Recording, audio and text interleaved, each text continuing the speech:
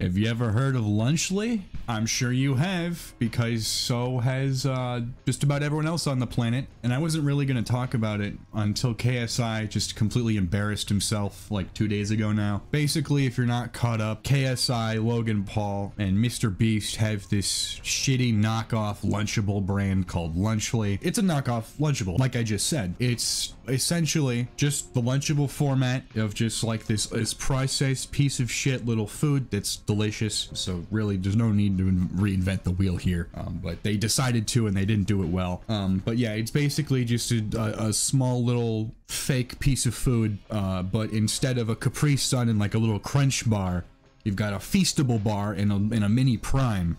Ooh, that's crazy. This is an unhealthy food product being peddled to children by their favorite content creators. It's it's gross. It's not right. KSI tries to defend himself in this embarrassing fucking video that we'll get to in a second, but I I, I just want to yap for a minute. He tries to defend himself by uh, you know, going after the valiant hero that is yet to be named by saying, "Oh, well you sold toys to kids." And it's it's not the same thing. Plastic toys do not have an adverse effect on a child's health unless they eat them. And and they're definitely not advertised to be like that. So i personally don't really see a problem with uh, selling toys but we'll get more into that once jj crosses this bridge. Um, i don't want to jump the shark too much here. So i say uh, we just get into this because it's genuinely embarrassing. The amounts of cope and insecurity that leaks out of this fucking video. It's almost contagious. Anyways, let's do this.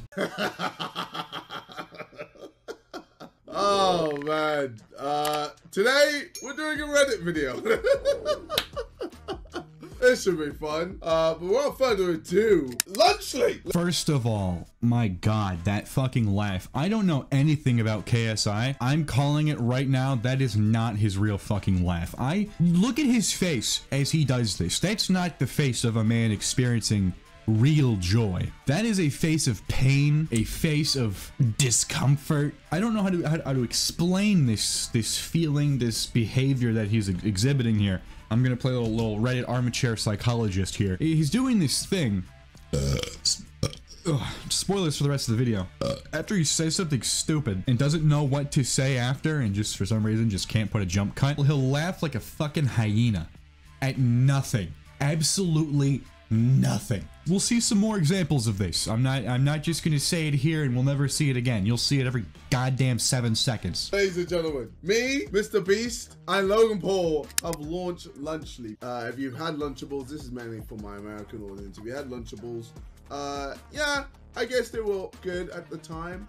Well, we've made something better. If you don't believe me, try it out for yourself. The fucking gall, the chutzpah, the ironclad balls, and not in a good way, that this man has to plug his shitty fucking product that nobody wants or likes on the video, addressing the fact that nobody wants or likes his shitty fucking product. It is. Oh my god. He's playing like 6D chess. I don't know what the hell his the strategy is, but it, um, holy shit. Don't about you, but the chocolate in America sucks. That is what it is right there. That fucking hyena cackle. Ain't nothing funny. First of all, chocolate in America does not suck. Hershey's sucks. Hershey's tastes like cat piss. We can all agree on that one, and I know that's what he's referring to. I'm sure he can't call it out by name, but I'm still gonna call bullshit on this one. American chocolate is good, and we didn't need another one. and I think a lot of British people can uh, verify that as well. Oh yeah, because I'm sure Britain is the the the place of chocolate. The the masters of flavor over there in Britain. Yeah, that's what they're known for. Good tasting food. But I gotta admit, Jimmy's new formula, when it comes to chocolate, is very good. I think I had the cookies and cream. Oh my god. So good. I literally messaged him like, brother, send me more. No other flavors, JJ? You'd think if Jimmy's chocolate was so good, you'd have some other flavors. Just hmm, strange. Just a, just a, just an idea. Just a thought. Hmm, hmm, hmm, hmm, hmm. I don't know. There's a golf cart passing me right now. Hmm, I don't know. Hmm. Ah, JJ's cook, bro. and then there's a tweet from Jacksepticeye. You mess with Dan TDM, you mess with YouTube. I mean, that's cringe. Uh, I let that one play out in full so you can experience just the sheer fucking cr- the the actual cringe of what he said. I don't really need to say this, but I'm going to anyways because if I didn't, where would the video be? It's just such pathetic coping, right? That to to laugh off what is clearly true and hurts you. I I can I know that is an insecure laugh, and I I'm, I'm gonna seem like a fucking Sheldon Cooper, you know, like a fucking just like well obviously obviously he's insecure obviously he can't come up with a good argument to save his goddamn life. With the straw man that he makes in this fucking video, he could he could scare away an entire fucking murder of crows. It's insanity. So Jacksepticeye says, you mess with Dan TDM, you mess with YouTube. And you might not know what that means, so let me just break this down a little bit. Actually, no, I'm not going to because KSI does it for us. And honestly, that's better than I could even do it. So let's just put a pin in the whole Jacksepticeye thing because honestly, I think he did this in a shitty fucking order. So let's just let's just rearrange these sections here for a minute. obviously released Lunchly, and Dan TDM replied. This is what he had to say. What happened to YouTubers, man? I can't not say anything anymore. This is selling stuff for the sake of making money. Simple. All right, shut up, JJ. I'm just gonna do it for you because you clearly can't read this like a normal fucking person. Like it's, I'm not even someone who's like smart enough to pick out all the the, the intricacies and vicissitudes of someone's bullshit lies and arguments. But this one, I can, I know for a goddamn fact, you are saying this to completely discredit an a legitimate real concern, a real criticism. So instead of you doing what you're doing, I'll read it out like a normal person, and guess what? It's gonna sound reasonable. What happened to YouTubers, man? I can't not say anything anymore. This is selling stuff for the sake of making money. Simple. How does this benefit their fans? This is selling crack to kids who don't know better than to trust the people who are selling it to them. Do better. Seems pretty fucking reasonable to me. I mean, that's that's just a, a genuine criticism of just this the scumminess of these three douchebags. You know, they're like on the fucking Mount Rushmore of YouTube assholes. You've got like KSI, Jake Paul, and Mr. Beast, obviously. But then, like, you've also got fucking, I don't know, Rice Gum, and then throw, like, Logan Paul up there, too. It's just so frustrating because they know, they know they can get away with it because their fucking fans are children that don't know any better. They know this shit. It's not just a coinkydink that they're just selling toys, fucking drinks, and candy bars, and uh, Lunchables. It's all for kids because kids don't have an eye for quality. They don't know that they're getting scammed. They don't know that you guys are assholes who are getting fucking sued like daily.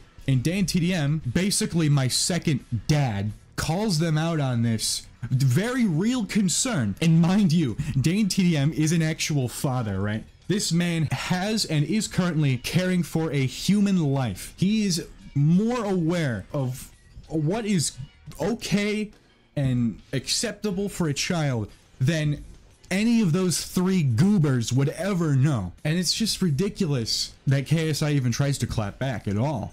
And he claps back in such a stupid fucking way. Let's just keep listening. I totally forgot we were watching a video. Do better. Do better.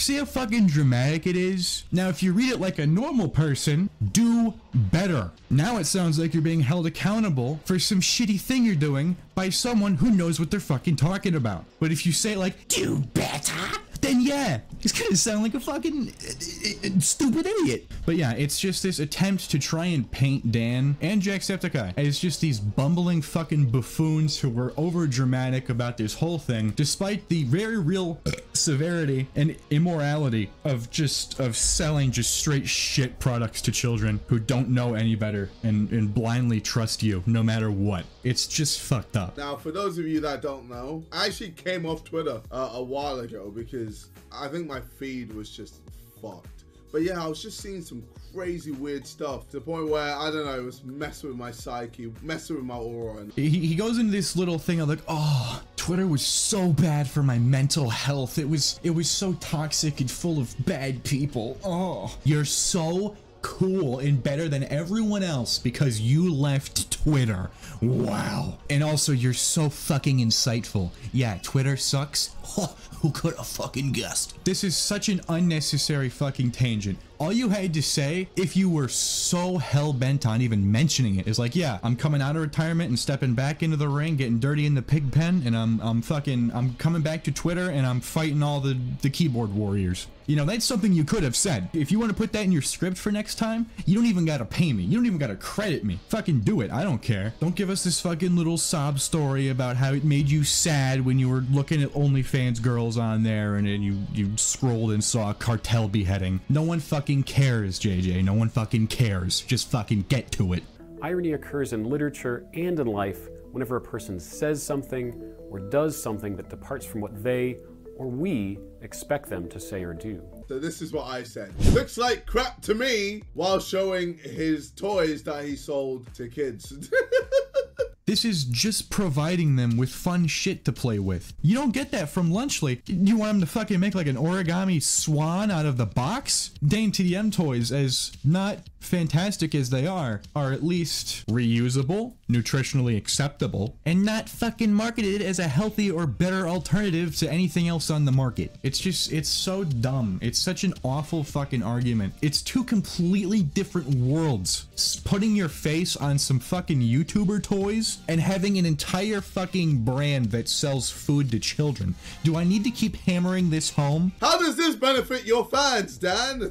you, it's giving them something they want. I was a kid who wanted Dan TDM merch, JJ. I wanted a little little figurine of Dan you know and i i i got it it was cool all right it was fucking awesome i got what i wanted his product was what i wanted Yours is the complete fucking opposite. Yours, JJ, gets shit out the next day. Now, obviously, people didn't realize that I was sh shining a mirror in his face. You're not shining a fucking mirror on him. If you are, he's a goddamn vampire because he's not showing up on that goddamn mirror because he's not a hypocrite for that. And he's also not a hypocrite for what you're about to fucking say. He was sponsored, then promoted, and made a whole video on MunchPak a monthly sub box full of food and candy to his Minecraft audience full of kids. Now what? Oh my god. He he promoted a monthly subscription box of food and candy. Now I I don't have that sponsored segment up right now, but I'm almost 156.78% sure not one word that Dan uttered in that video was this shit is better for you than anything else on the market. Not once did he ever market it as as a good alternative or, or a healthier alternative to, to anything else? He just simply was like, hey, this is a product. If you want it, here it is. And if you marketed Lunchly like that, like, hey, here's just another thing we put out on the market. It's a cool little product. If you want it and you like what we like what we do, get it. I don't think anyone would really have as big of a problem with that. But the fact that you, all three of you, are marketing Lunchly as this this holy grail of nutritional value and substance, it's just not that. But kids don't know that. They'll really think this shit is good and it's not. That's the difference between you and Dan. As far as I know, he's not still doing this. Not even that getting sponsored by a fucking food sub box is even like immoral or scummy. He doesn't even do that now, to my knowledge. He's grasping at straws, but little does he know that those straws are fucking oiled up. They're P. Diddy straws. Some just decided just to be racist. when a nicker like KSI does nothing in life and still gets paid for it in something other than welfare food stamps, it's noteworthy. It's like how monkeys in the jungle have started to understand the concept of tools. Brother is just being racist. you see what he did there? He gave one fringe example of someone being a, a racist bastard. And that's not cool. But from what I've seen, that is that's not even the minority. That's somehow below the minority because there is so much more to attack you guys for than some stupid bullshit like that. You guys are absolute scumbags to the goddamn core, and everyone is calling you out on that. And instead of addressing actual criticisms, he only provides one example of someone being racist to paint all of us as racist bigots who don't know what the fuck we're talking about. And that is so disingenuous and it is so fucking scummy. And it's exactly what I thought it would do. Uh, they kept moving the goalposts and being like, Oh well, Dan only did this once. He's only made a video once about sweeties uh, to his audience, so you're wrong. How is that moving the fucking goalpost? It's it's ridiculous. Like, sure, if he had actually done something morally reprehensible, it wouldn't matter if he had only done it once, it would still be not great. But what he's doing isn't isn't morally wrong. He was calling you out for doing something actually fucked. Dan didn't fucking do anything wrong. He was just getting sponsored by a food box that if you want to have it, you can buy it. Same thing goes with Lunchly, I guess, but at the same time, that candy box was not advertised the same way that Lunchly is. The biggest problem is the way you're advertising this. That's the thing. It's not what you're selling, although that does suck. It's the way you're selling it and how you're treating your product. That's the fucking problem. if you just type in Dan TDM sweets, there's countless of videos of him eating sweets, promoting sweets to his audience. But cool, you know. But again, this was another complaint that I heard a lot. They were like, "I don't, I'm about to do the voice again." Oh my god. He's not allowed to eat fucking candy? Oh, heaven forbid. Oh my goodness gravy. He eats candy for a video. Oh. Again, it's completely different. In none of these videos does he ever say anything about the candy being healthy, good for you, better than anything else on the market, you know, made with good ingredients. None of that. He never makes that claim. He is just trying fucking candy. It is not the same thing. Where was the same energy when Ryan Trahan released sweets? Where was the same energy when FaZe Rug released sweets? Now, I don't know anything about these guys and their fucking candy, but again, did they market these things as healthier, better, tastier, better ingredients? Did they? Probably a little bit, but definitely not to the same degree that you guys are. I'm not seeing people going crazy towards them on Twitter. You know why? It's because no one fucking cares about them. I've realized why. It's because people just hate us. Because you're the biggest fucking bastards on the entire fucking platform. I cannot fathom just the formation of Lunchly in general. Mr. Beast, KSI, and Jake Paul, like they're they're forming the Avengers of hateable people, of of dickheads. And now he's trying to play the victim like, "Oh, wh- why are we so hated? The uh, people just hate us. Yes, we hate you cuz you you suck." people hate Logan Paul, okay? They hate Mr. Beast and they hate me on Twitter, okay? Oh, it was it was Logan Paul. I was talking about Jake. I mean, they're they're interchangeable. I mean, did any of you even notice that I said Jake instead of Logan? Probably not. Twitter is just a cesspool of the most depressed people on this earth. it's like 4chan, but worse.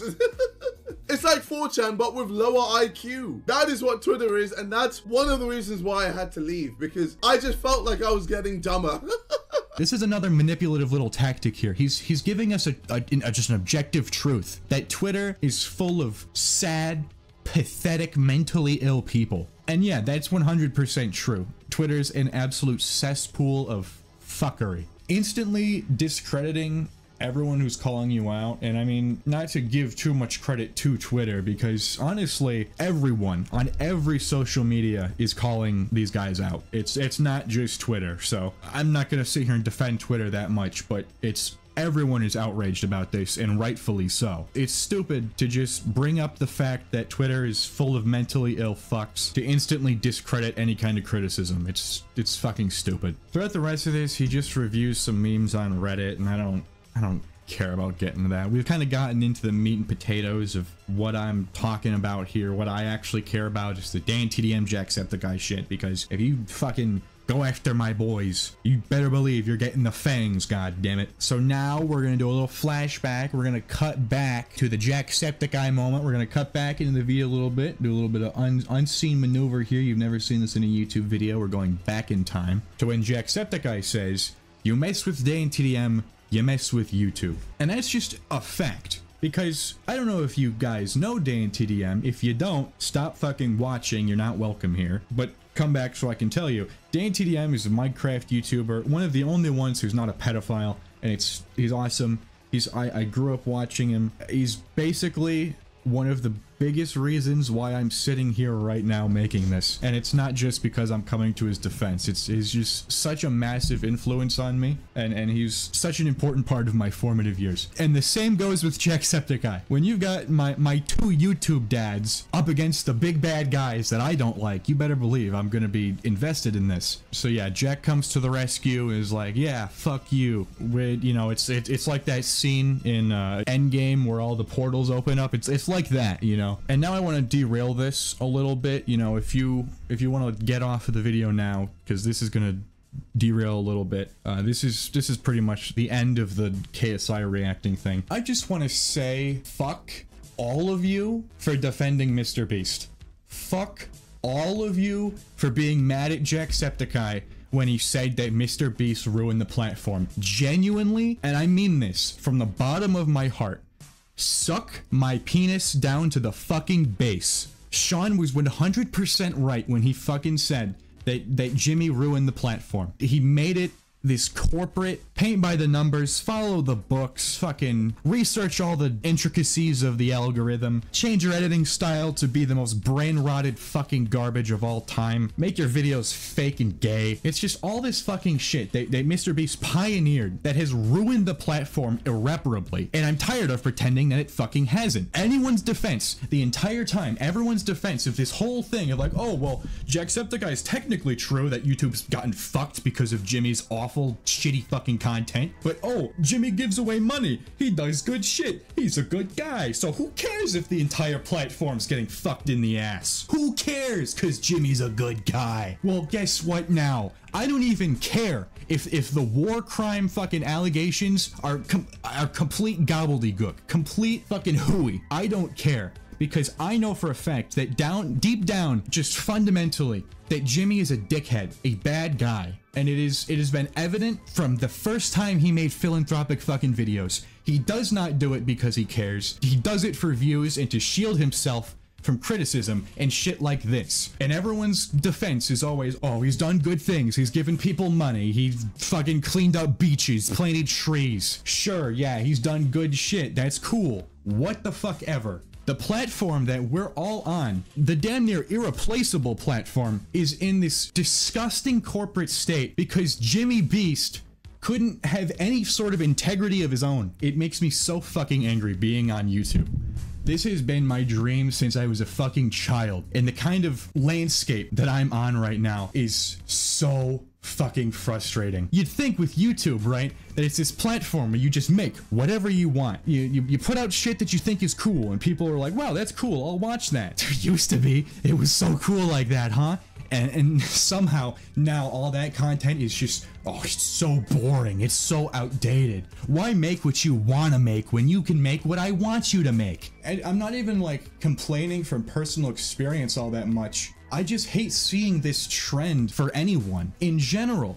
On this platform, I hate how fake everyone is, how formulaic and generic and fucking predictable everything is. It makes the platform feel more soulless than ever. And that is so insane because the entire time that I've been watching YouTube, people have been complaining about it. And now, in, in the state that we're in, I would love to go back to any of those fucking years. Sure, maybe this is the logical conclusion of, of a website that allows people to make money off of content they make themselves. But I can't help but be upset that we couldn't have had at least a little bit more time of making videos with actual integrity and passion.